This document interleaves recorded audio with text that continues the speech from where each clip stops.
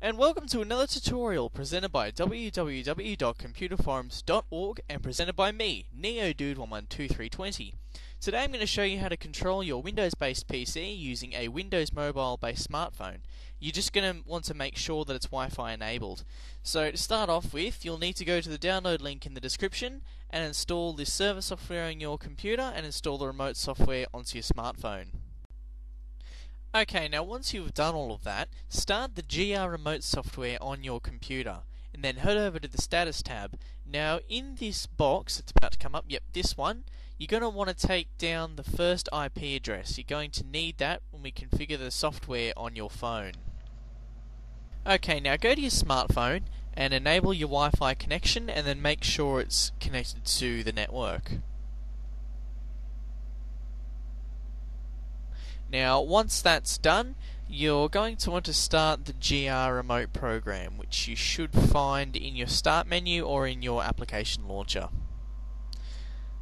Now, for the first time you start it, you're going to have to make a profile, which is where you type in your computer's IP address and the password if you set one.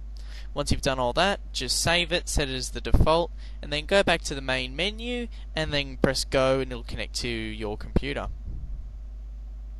And there we go, we're connected now. We have six different options. We have an MX Air simulation, a touchpad, a keyboard control, a media center remote, um, your keyboard, and a game controller. I can't get the game controller to work. I don't exactly know how to use that. Um, now I'll just show you a little demo of how it works.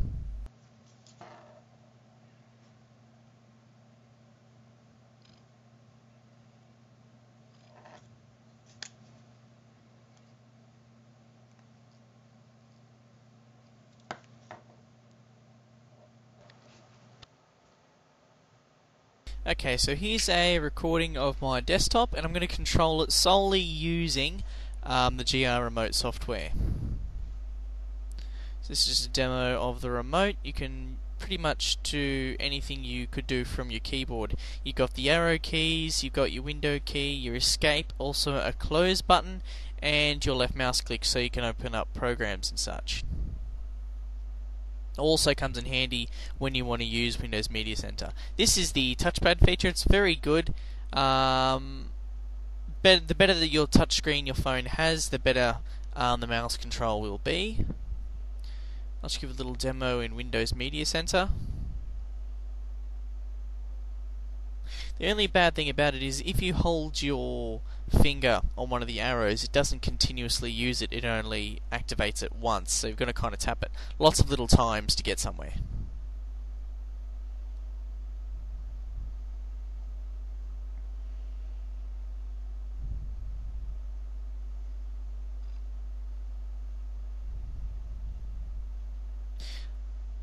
You'll notice I'm using a Samsung Omnia i900. I highly recommend this phone. It is very good, reliable, and it's pretty budget conscious too.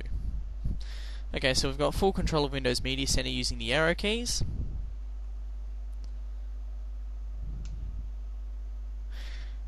Also, the Windows Media controls in the GR remote software also work for Windows Media Center, which is a nice touch.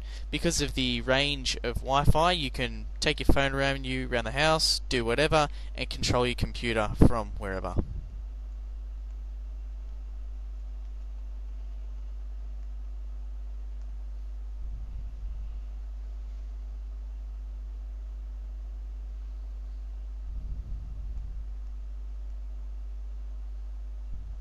And that's the demo. Um, if you have any questions, just either go to www.computerforums.org and make a new thread, or just post in this video here. Thank you for watching.